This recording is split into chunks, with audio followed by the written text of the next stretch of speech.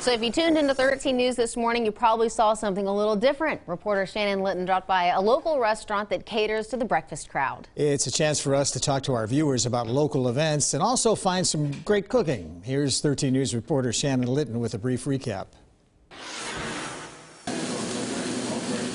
Whether it's the smell of a good country fried breakfast, We get omelets, uh, we get uh, bacon, egg, and cheese, BLTs go out the door like crazy. this joint is a local favorite. I eat here every morning. He's up early and makes good food. I usually do get BLT, but I got a hot ham and cheese today. And it's not just the good food, which is made from scratch, that brings people in here.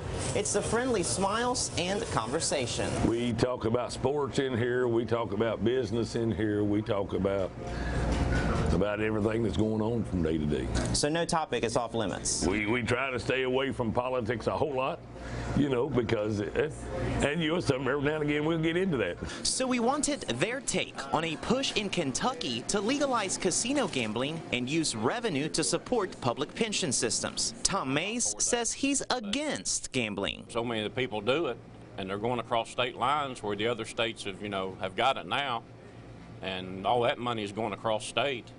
You know, why not keep it here? Welcome to King's Diner in Ashland, where I found out cooking is not my forte. Would you hire me, yes or no? I think you better stick with your uh, reporting. You be That's fair enough. I listen, I get that. I, I completely understand that. Honing my cooking skills in Ashland, I'm Shannon Litton, 13 News, working for you. All right, thank you, Shannon. Let's turn our attention now to meteorologist Brian Hughes, who has the latest on the weekend forecast. Brian. Hi, I'm better. I'm better cooking than he is. There's no doubt about that. I mean, how hard is it to screw up bacon and eggs? I mean, Jesus, tomorrow. Anyways, it's.